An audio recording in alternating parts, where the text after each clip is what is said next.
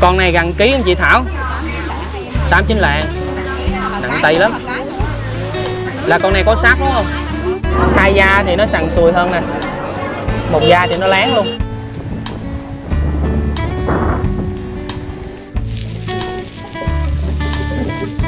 Chín nó đỏ lè luôn.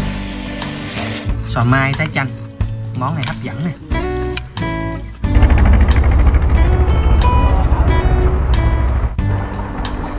Nhìn vậy thôi chứ nặng lắm đó, cô chú anh chị.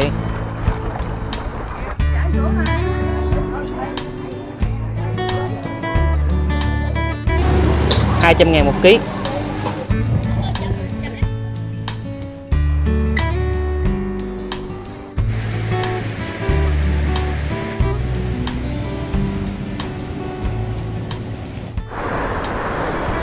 Dạ ngày mới cho mình gửi lời chào và lời chúc sức khỏe, gửi đến tất cả cô chú anh chị mình nha. Cảm ơn cả nhà mình đã luôn theo dõi và ủng hộ kênh của mình. Hiện tại thì mình đang có mặt ở quê. Giờ này à, cũng gần 6 giờ sáng rồi. Trước mặt của cô chú anh chị mình đây là cửa của cảng cá Phan Rí Cửa. Hôm nay mời cô chú anh chị mình đi thăm bà con ngư dân ở quê mình nha. Mấy hôm nay thì trời động lắm. Không biết bà con mình đánh bắt như thế nào. Mấy chiếc này à, đánh bạch tuộc nè. Đánh bạch tuộc bằng vỏ ốc á. Mỗi lần chạy vào cảng hay là chạy ra cảng rất là cực luôn.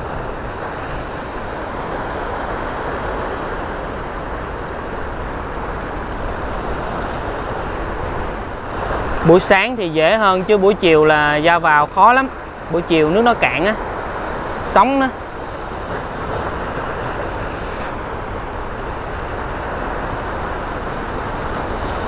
mấy chiếc đánh bạch tuộc này là đi theo tập đoàn nè.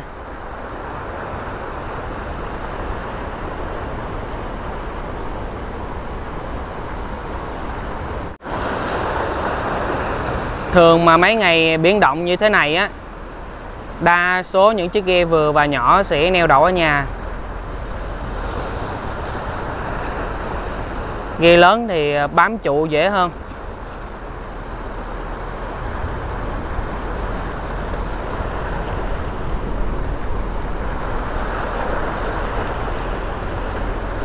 Đợt này cũng có nhiều anh chị đi du lịch ở Phan Thiết á, cũng à, nhắn tin với gọi điện cho Minh, rủ mình à, ghé qua chơi. Nhưng mà từ nhà mình đi vào Phan Thiết nó cũng hơi xa. Cách Phan Thiết cũng tầm 70 cây số lận. Cho nên không có ghé qua được. Tại vì anh chị cũng alo gấp quá. Có gì thông cảm cho mình nha.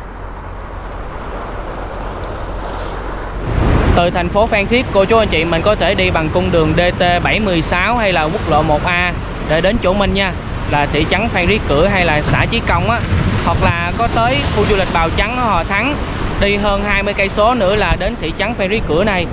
Với cảng Phan Rí Cửa cũng gần quốc lộ 1A lắm, cách quốc lộ 1A hơn một cây mấy à. cô chú anh chị mình tiện đường thì có thể ghé vào đây tham quan cũng như là mua hải sản. Nhưng mà đợt này thì biển nó hơi động nè, đi thì nó không có đẹp lắm. Canh mấy ngày mà trời em rồi ghé đây tham quan nha.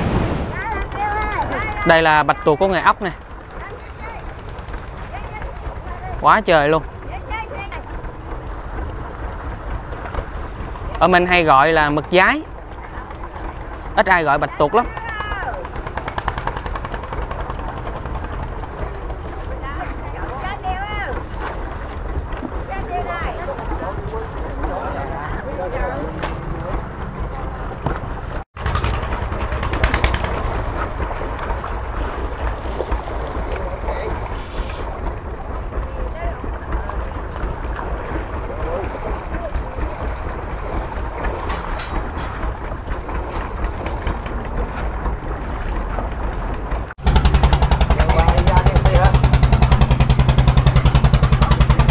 Dạ chú này bịch hai mấy ký không chú? Tính uh, mực không là 27 kg. Dạ. Còn nước non còn này còn không Này à, lâu lâu mới vào một lần nha cô chú anh chị.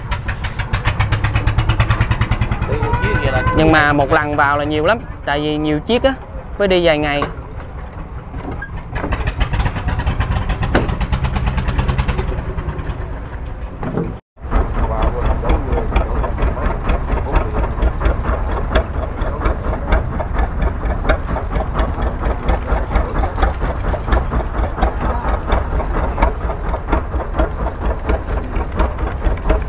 Dạ anh cho em hỏi mình đi ờ, lâu ngày chưa anh? Tháng đi tháng Dạ đi tháng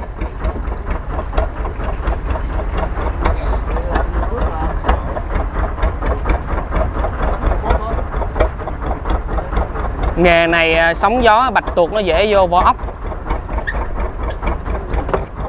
Trời mà êm là nó ít vô lắm Cô chú anh chị mình thấy nhiều vỏ ốc không? Này là vỏ ốc giác. Như ghe này là đi tầm 13.000 vỏ ốc nè.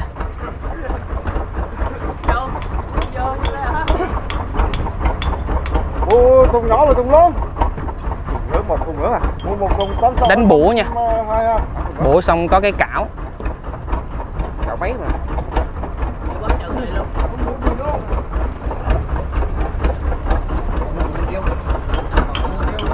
Ê, mặt cô ta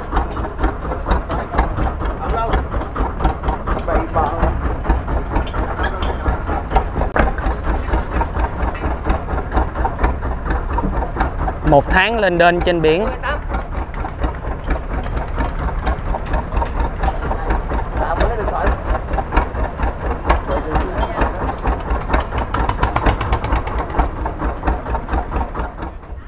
Vỏ ốc giác này. Một cái vỏ như thế này là mấy chục ngàn á. Đó mình chỉ ờ, đánh vỏ ốc như vậy thôi Không cần bỏ mồi hay gì đâu. Bạch tuộc nó sẽ ờ, tự chui vào. Tập tính của con bạch tuộc là nó hay ờ, chui vào vỏ ốc, vỏ sò. Cái nghề này cũng rất là độc đáo. Mình cũng có một cái video đi ra biển và chia sẻ thực tế về cái nghề này rồi. Cũng hơn một năm rồi á.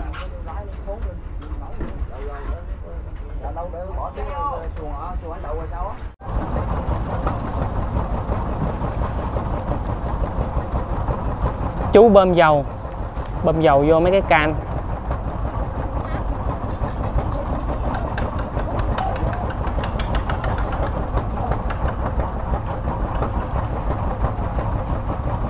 bắt cái ống dài để bơm Hoài năm nay bao tuổi rồi Hoài? Hả?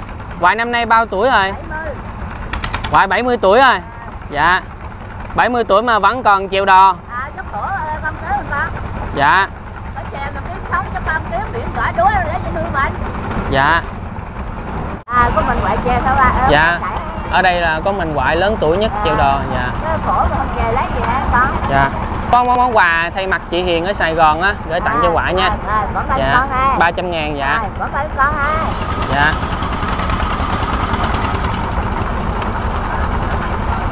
À, hôm đó nó bay đi cho chợ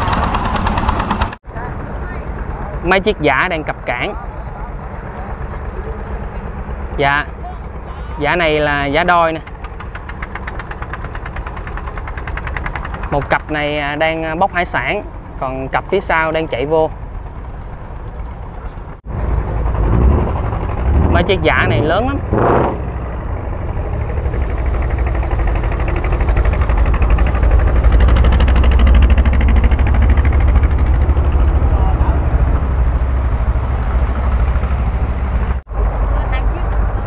dạ giả đôi là đi hai chiếc chiếc đực, chiếc cái. Giả cào á.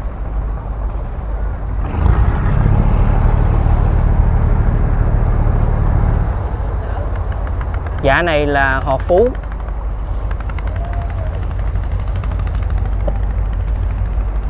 Bên trái là hò phú, bên phải là phan rí cửa. Hò phú thì sắp nhập vào ờ, phan rí cửa rồi.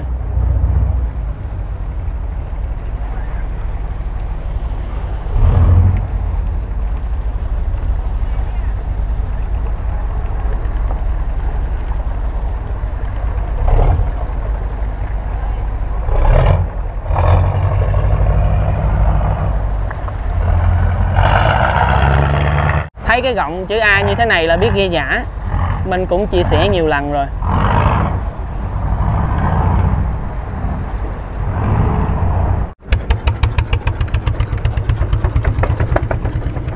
Thường là mấy chỗ khác giả đôi sẽ đi dài ngày, nhưng mà chỗ mình thì bà con mình đi ngắn ngày. Hai chiếc này là đi ờ, ngày một vào á.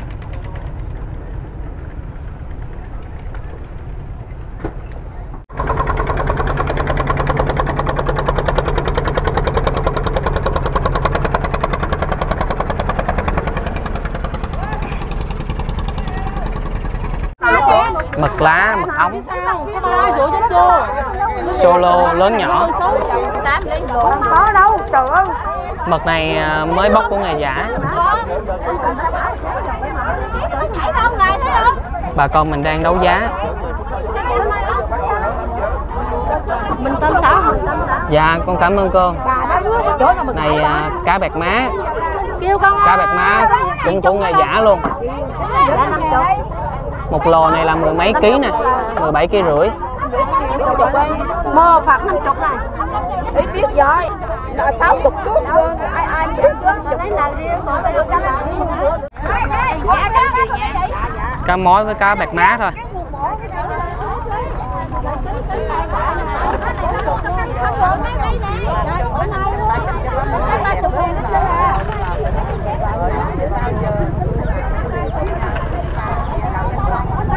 máy này chở nhiều chuyến không chú? Bữa nay bữa nay về dạ. Đó được, được bốn đôi à dạ. Sáng nay được bốn đôi thôi bốn đôi giả dạ. Dạ.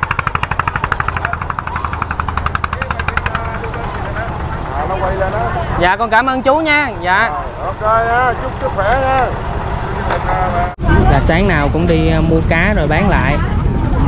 Đi đi xe mai đi dạ. Một ngày ờ, như quại ờ, mua cá rồi bán lại được trăm, hai trăm ngàn quại cái một trăm bảy trăm chục qua hồng hai trăm có hồi lỗ hồi đủ vốn có hồi kiếm vàng ta ăn lần vàng cá gì nấu ăn tầng dạ. Dạ ở với ông ngoại ông ngoại thì bệnh ông ngoại cũng nằm cũng tám mươi là lại bảy mươi bảy dạ cái thì cũng khó khăn. Dạ. Tiêu khay trong trong kho đó. dạ. Thì ờ, tâm sự cũng biết được ờ, hoàn cảnh của ngoại á, thì con cũng có món quà thay mặt chị Hiền ở Sài Gòn á. Dạ tới tặng cho ngoại ờ, 300 ngàn nha. Dạ tới ngoại lui cui hồi nãy giờ nhưng mà không có mua được cá. Dạ. Dạ. Ngoại cảm ơn con nha. Dạ. Dạ sức khỏe ngoại nha rất là nhiều tàu lá dừa nè. Dạ. Tàu lá dừa này để làm trà.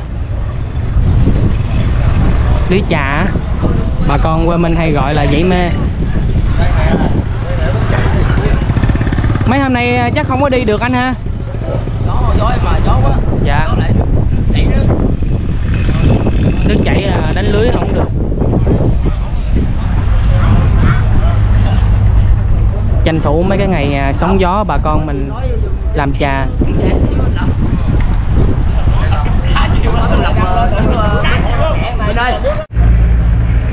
Mùa giấy mê là mùa cá.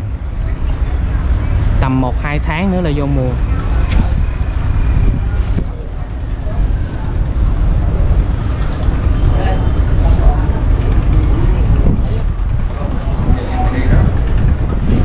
Dạ giờ này cũng gần 2 giờ chiều rồi, cô chú anh chị. Mình về lại xã Chí Công nha. Xã Chí Công là chỗ mình đang ở hiện tại. Chí Công với Phan Rí Cửa là sát bên nhau luôn á. Qua lại tầm vài cây số á. Ở xã Chí Công chỗ mình á, Bà con mình thường làm nghề biển là làm nghề lặn nha. Nhưng mà mấy cái ngày biển động như thế này á, Đa số là bà con mình ở nhà. Chỉ có mấy chiếc mà ghi lớn, đi lặn khơi á. Ra ngoài khơi xa thì biển nó động nó không có quá đục, cho nên bà con mình vẫn lặn được. Tầm 2 giờ cho đến 3 4 giờ chiều, bà con mình sẽ chạy về bờ và bán hải sản nha. Bà con mình đi lặn từ sáng sớm á.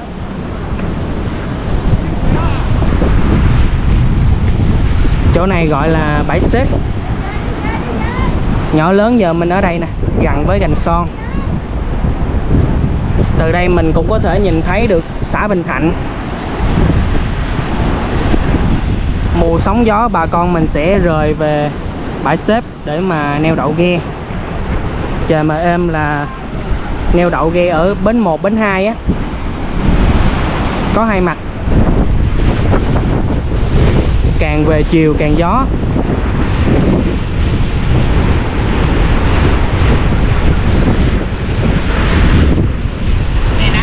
Dạ chú. Mấy cô, mấy chú ờ, đang đợi ghe vào nè chèo thúng nha, chèo thúng ra ghe xa gần đó.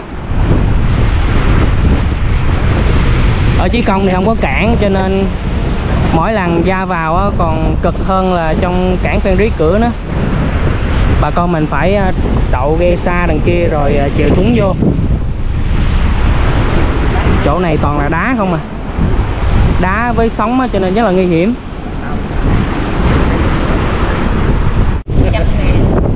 Một trăm ngàn.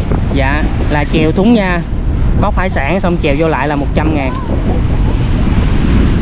Là mình có tính luôn cái tiền là mình à, gánh không cô? Hay là mình chỉ chèo thôi cô?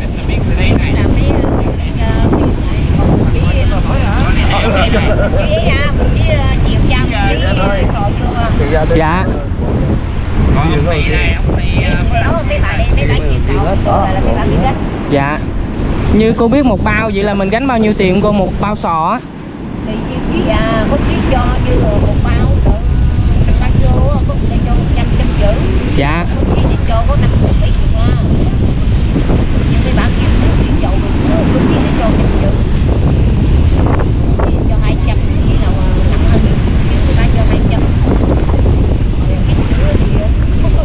cái thì thì viên dạ cảm ơn cô nói chứ ờ, kiếm ờ, trăm ngàn cũng khó lắm cô chú anh chị à. Xíu nữa mình sẽ quay để cả nhà mình cảm nhận được nha.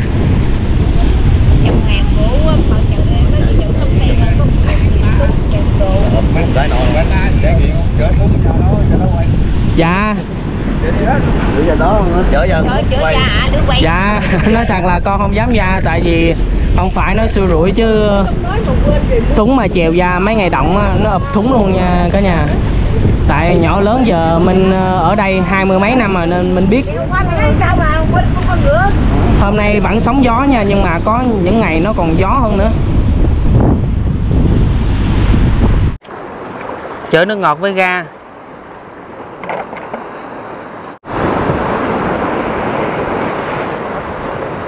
Có hai chiếc đang chuẩn bị vào.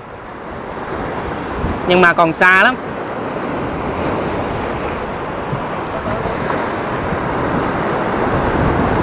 Với chú là canh sống.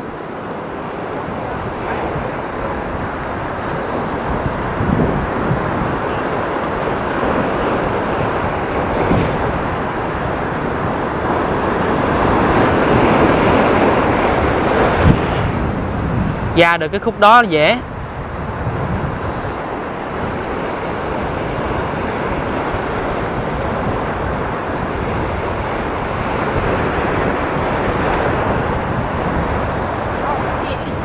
Nếu mà nhìn từ trên cao á, thì cô chú anh chị mình có thể thấy được rất là xa luôn.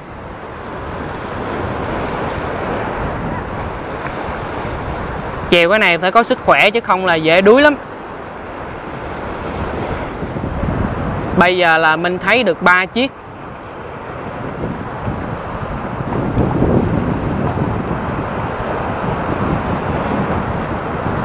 Một công đôi việc chèo nước ngọt với ga, rồi à, chèo hải sản với à, chèo bạn vào, bạn lặn á.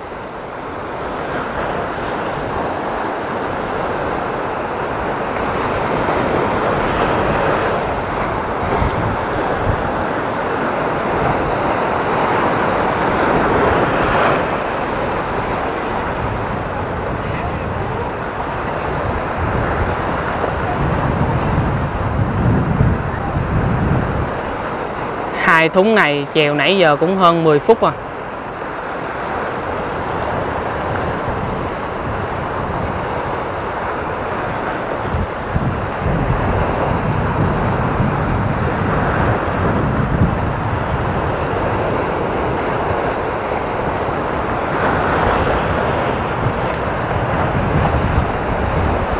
Chỗ này gió nó tạt xuống, cho nên chèo khá là lâu.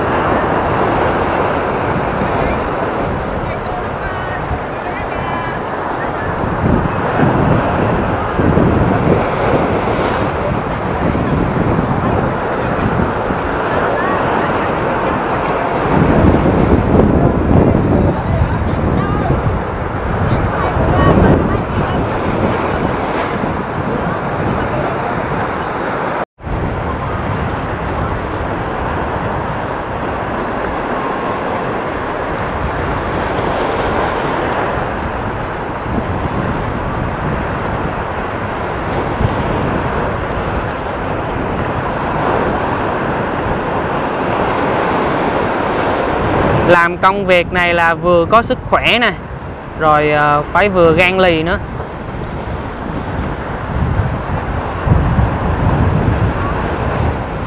Mình nhìn xa mình thấy nó bình thường vậy thôi chứ ngoài đó là gợn sóng nó cao lắm.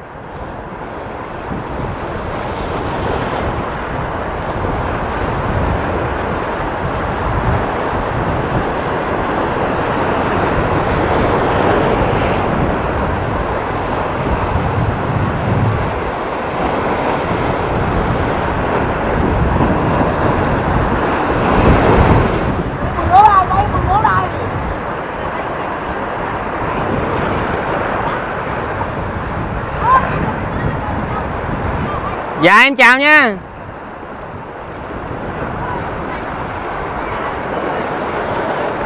quay con đố à dạ quay con đố à rồi có cùng một cái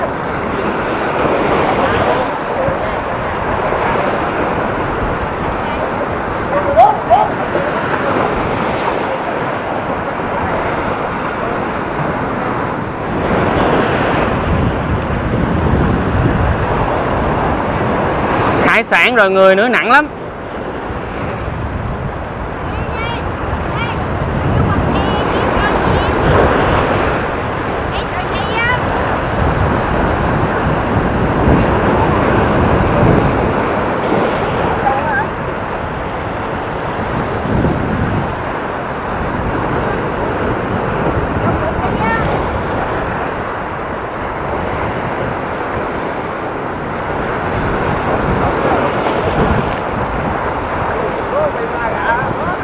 đây đây đây đây đây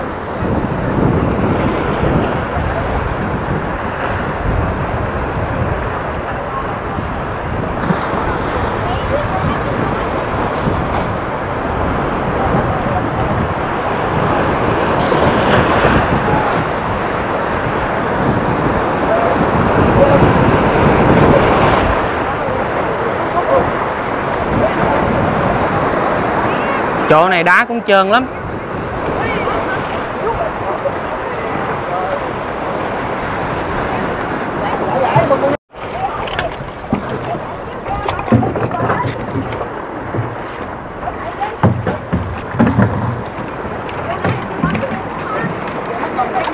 Sò dương.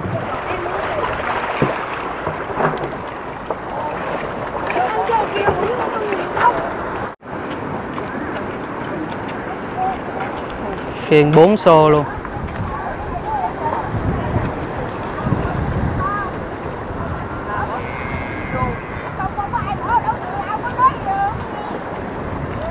Mấy cái bao sò này nó đã nặng rồi. Còn thêm ờ, nước vô nữa. Hai người khiên mà lỉ qua lỉ lại luôn.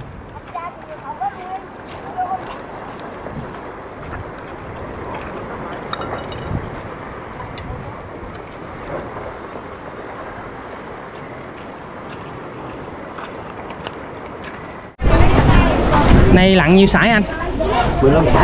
15 sải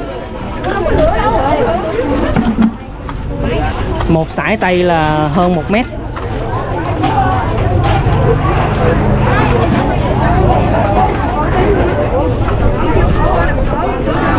Phía trên này bà con mình đang ờ, căng sò.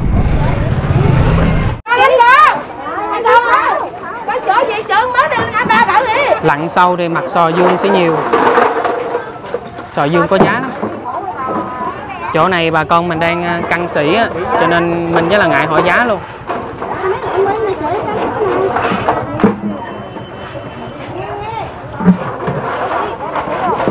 Lên đi chứ mày dạ anh. Quá chị Bình này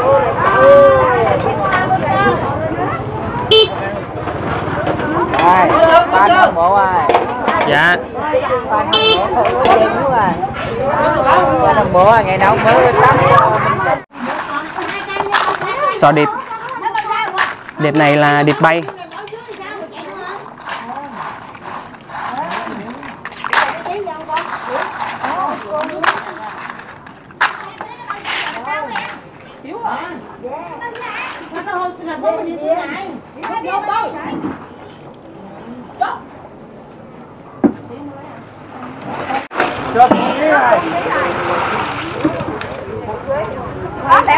Điệp bay điệp xớp ốc đỏ, sò ngọt sò ngọt hay gọi là sò dương á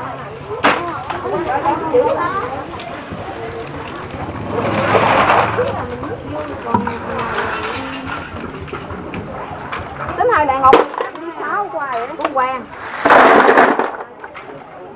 Thanh đổ vô không? Cũng có lửa hai lạng hai lạng hóc dâu. Lửa giùm nó là được đây. Lửa lửa giùm nó lớn lên lớn nó. Lạng bay này đây. Này đó lạng bay của chị này đó đó.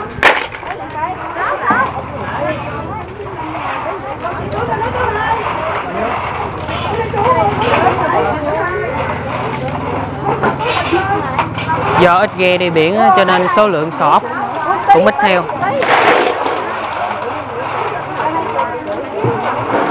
đầu năm á, đầu năm thì biển nó êm nước trong á.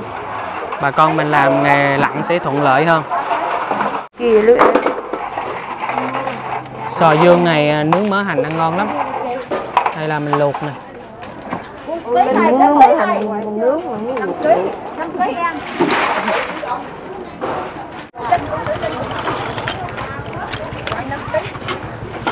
có mấy chị mấy cô mua sò lẻ đó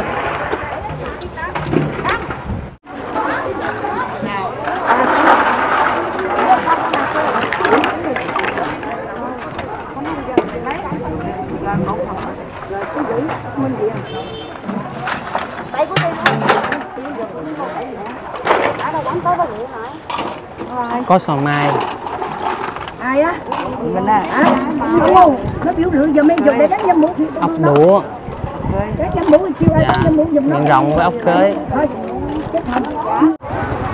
này bánh bột lọc tôm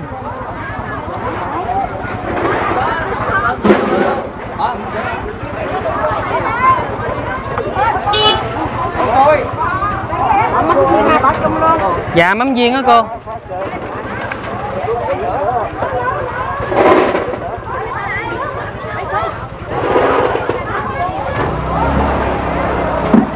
giờ mình đi vào trong chỗ bán sò lẻ. Mình hỏi giá cho cả nhà mình một số mặt hàng hải sản, cũng như là xem có hải sản gì ngon hay không. Mua về chế biến nha.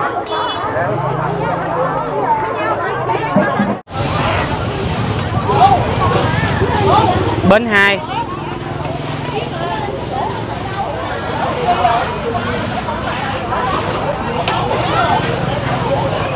thường ở bến hai chỗ mình á, là đông lắm. Hôm nay quá trời vắng.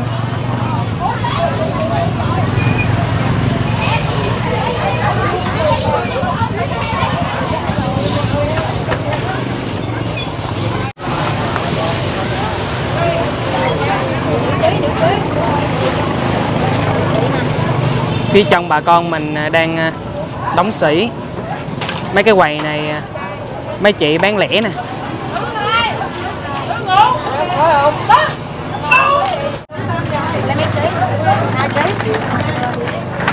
hai ký ngao tím. Trăm mốt. Dạ không con lấy năm mươi không mới là con mua năm mươi con lấy năm năm không à Kệ thông cảm cô à, mấy ngày à, sóng gió như thế này, hải sản nó cũng có giá. Tại ít người đi á. Ngao tím này về hấp mang. Bạch tuộc này là 160 ngàn nha. Bạch tuộc hai da ở mình hay gọi là bạch tuộc Mỹ. Cũng có nhiều anh chị hỏi mình á, làm sao phân biệt cái con à, bạch tuộc một da và bạch tuộc hai da thì sẵn đây mình cũng chia sẻ luôn nha. Thường là mấy con bạch tuộc hai da nó sẽ rất là to to hơn à, bạch tuộc một da với à, mình nhìn cái lớp da của nó nó sần sừ. Đó cái lớp da của nó sần sừ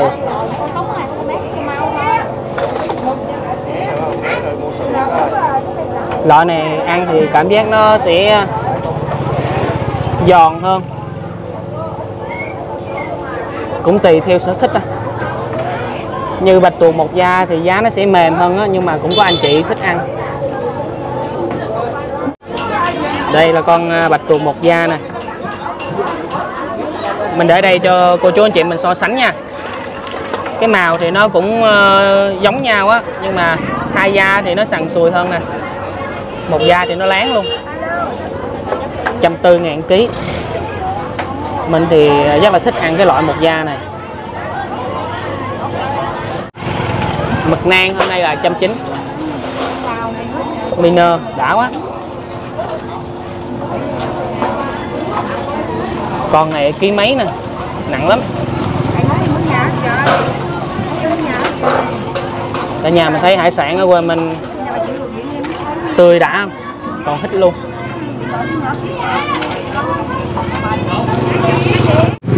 Ốc tỏi. Đây là con ờ, ốc chét nè. Hồi sáng ờ, mình ờ, có quay cái nghề ốc đánh bạch tuộc á là vỏ của con ốc này chỗ mình hay gọi là ốc giác, ốc voi.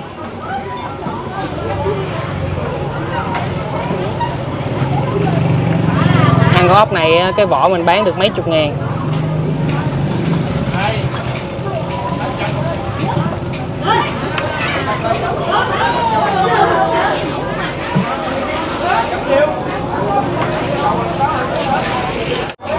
Ốc miệng rộng, ốc tỏi.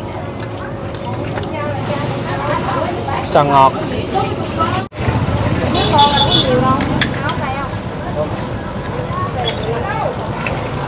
Ốc miệng rộng này à, nhà mình cũng thích ăn lắm.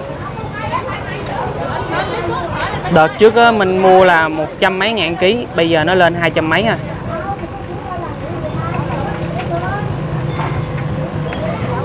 Ốc miệng rộng bây giờ nó lên giá ngang ngửa có khi là cao hơn là sò dương với ốc tỏi luôn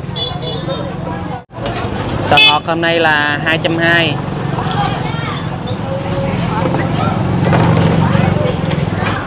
ghẹ này ngon ghẹ xanh ngon.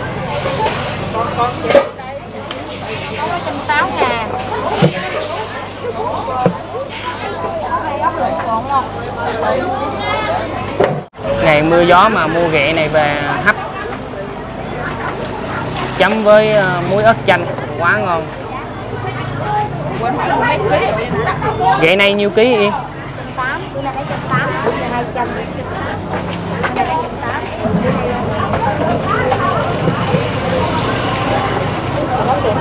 có bị ở tay không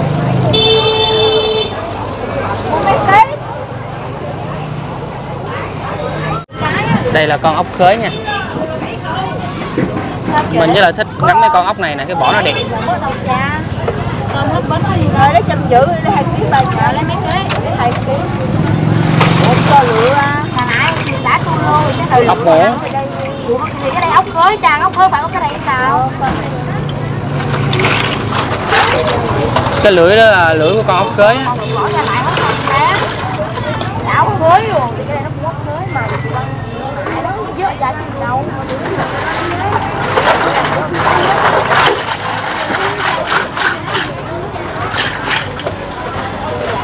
subscribe cho kênh Ghiền Mì Gõ Để không bỏ lỡ trăm mấy, đủ loại. Món tây thì giá bình dân. Móng tay là 80 hả Yên? 2 kg 80 40 ngàn ký thôi. Bạch tuộc hũ. Nhiêu chị? Bạch tuộc này hồi trước giờ mình cũng chưa có ăn luôn đa số là ăn à, bạch tuộc một da với à, bạch tuộc hai da. Bạch tuộc thủ này mình quay cũng nhiều lắm à. Hôm nay à, mua thử về ăn nha.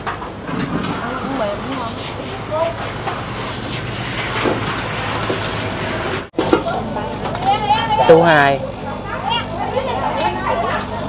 tu hài này minh mình dân biển nhưng mà ít khi ăn lắm, tại vì giá trị nó cao.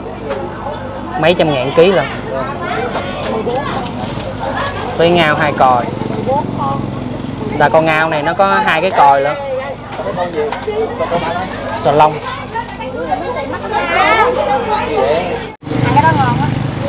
Cua lông. 200 ngàn một ký.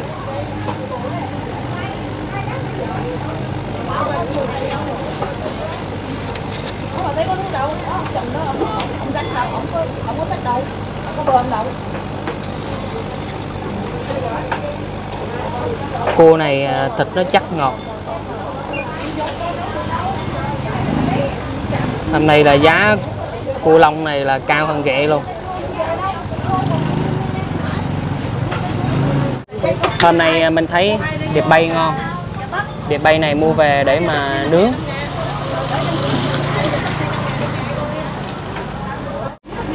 Còn mai này nhiêu ký yên? Mai đó bữa nay 80 ngàn. Mai 80 ngàn Rồi mai thì cái còi nó sẽ à, to hơn. Mình mua một ít về để à, làm tái chanh luôn.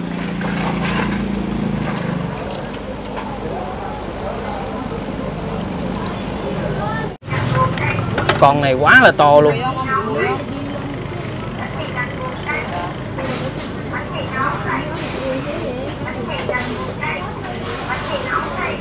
Con này gần ký anh chị Thảo? 89 lạng. Nặng tay lắm Là con này có sáp đúng không? ăn ăn một con là đáng một con Dạ ăn con là đáng một con Quá trời nặng Cầm con ốc mà cầm một tay cầm không nổi luôn Ký đúng không?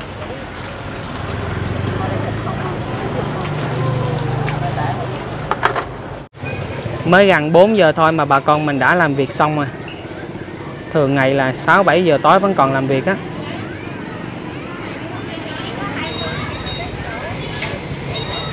Thật sự là cái mùa gió bão như thế này á Ai à, khó khăn lắm.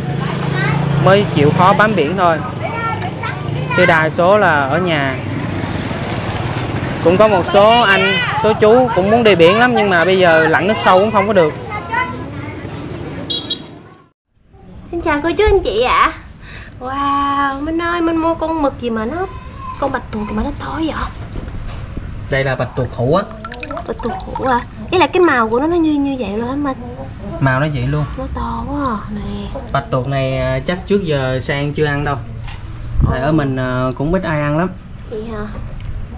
Mà Nhưng mà mấy cái chỗ khác á, như à, đợt anh đi quay ở à, Vũng Tàu và gì Vũng Tàu á sang Là một Wow. con này là trăm mấy ngàn á. Hồi nãy anh mua là mấy chục ngàn thôi. To ha. Có sò điệp nữa nè. Sò, bay này để à, nướng nè. Mấy sò điệp này cũng to Minh ha Thì hôm nay mình sẽ nướng con sò điệp này ha. Sò mai nữa. Sò mai này thì à, mình làm tái chanh luôn.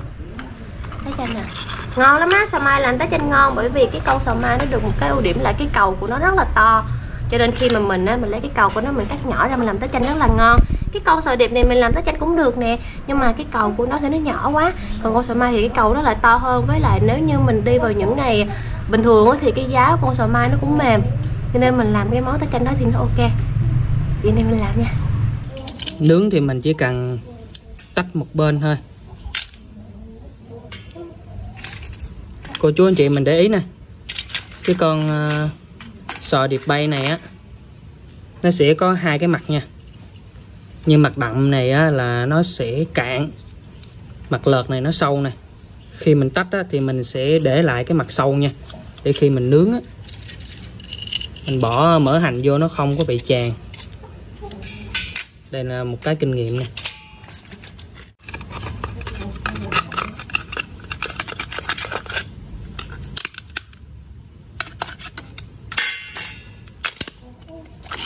Cái vỏ nó dễ bể lắm. Chắc lắm anh Nguyệt để cái phần đây này mình kéo xuống này sang à lấy hết luôn hả? Đúng rồi. Em lấy lại cái à, còi thôi. Hồi nãy bạn sang à, nói là cầu á ở mình hay gọi là cầu. Một số nơi nói đúng luôn là còi nha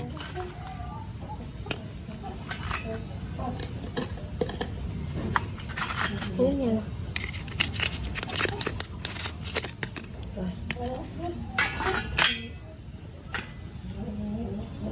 còi sầu mai mình làm tái chanh thì cảm giác ăn nó giòn ha sang ha. Ngọt hơn. Mình cắt mỏng ra nha cô chú anh chị. Tỏi ớt. Mấy trái đầu nó không có nước mấy trái sau nó có nước này. Ồ, khán giả làm cậu mai tái chanh. Dạ ba giờ của mình.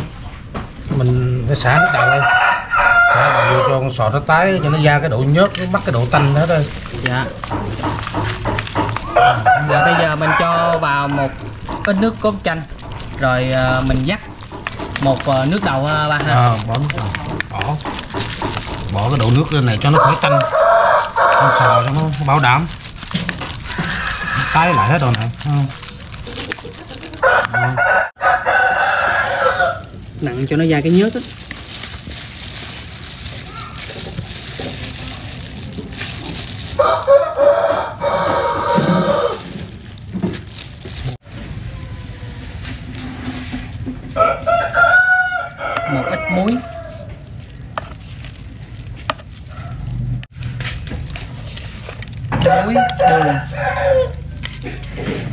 cho cái à, nước cốt chanh vô nữa.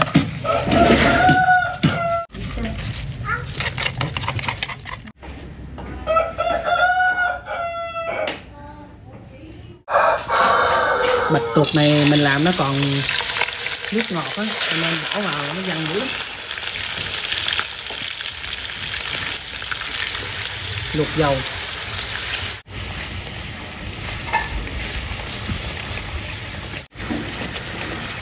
Rồi bắt đầu trộn lên.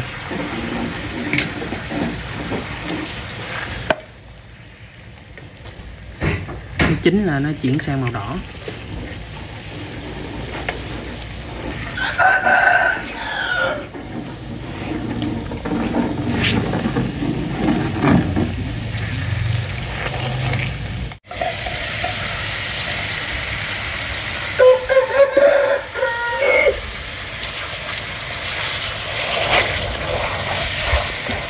chín nó đỏ lè luôn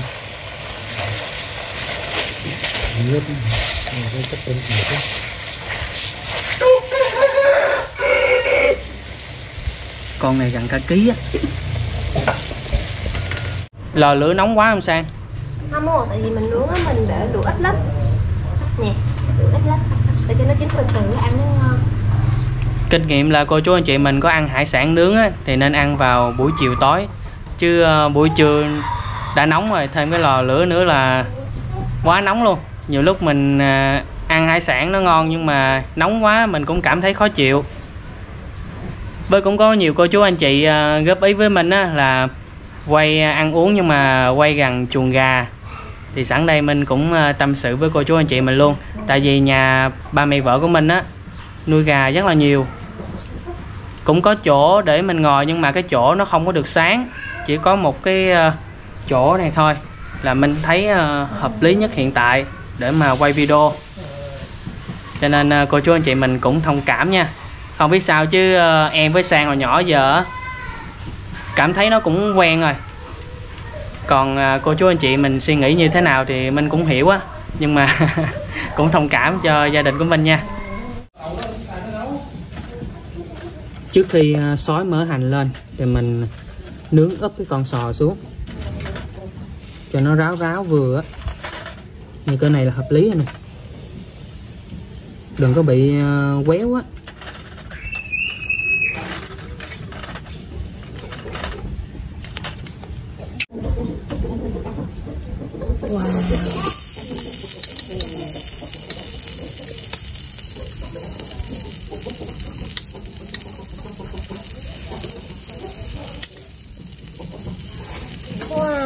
Mùi thơm.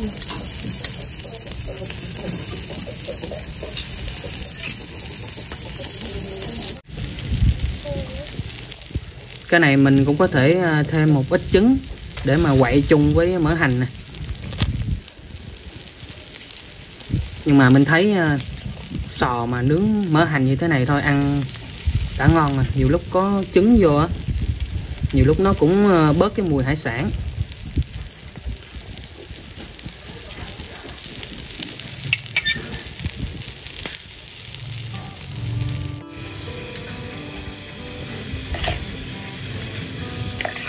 Cái món này bảo đảm là nhiều anh, nhiều chú thích lắm. Nếu mà thường hay nhậu.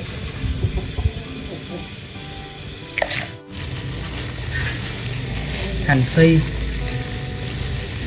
Thêm một chút gừng nữa, cho nó thơm.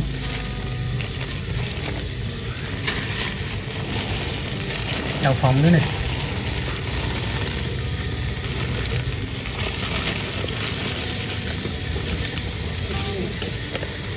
Rau sống bánh tráng nướng. Bạch tuộc với ờ, sò điệp nướng là mình ăn với mắm me nha. Ăn với ờ, mắm me nó ngon hơn nhất là sò điệp nướng. Dạ mẹ mẹ vợ mình. Bây giờ mình mời cô chú anh chị và các bạn mình cùng ăn hải sản với gia đình mình nha không có dao rồi, bên dưới không? sò mai tái chanh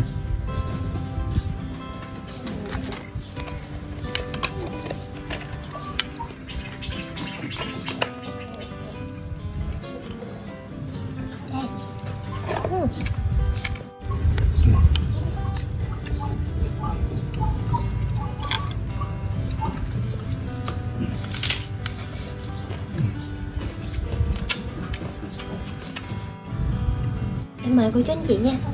À. Uhm. Sò mai thì mềm Mà ăn vô có vị chua chua cay cay. Uhm. Vị rất là thơm nữa. Hàng gì món này Mấy chú nhậu thích là phải rồi. Ngon quá. Uhm. dạ con mời ba mẹ luôn mời bà con ăn điệp ờ, bay. Này này, này điệp bay này, này, này điệp nước hành mỡ. Chấm lợ ờ, mắm me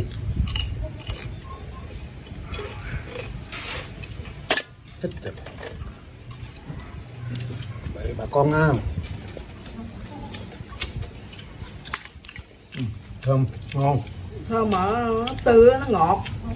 Còn sò nó ngọt. Gọi điệp bay á nướng. Bà con đây là mực. Dạ. Mực mực ấy nè mực giái á dạ ở mình hay gọi mực giái này phải chấm lợ mắm me. Ờ, anh em nào mà nhậu là làm cái món này là ok luôn.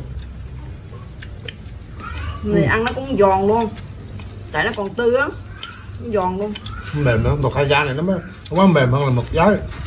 Dạ cái mực hũ này nó mềm hơn là mực hai da đúng ờ, nó mềm hơn. bạch tuộc hai da dạ cái thịt nó, nó mềm nó ngon nó cứng như cái thịt kia. Mà nó quá ngọt.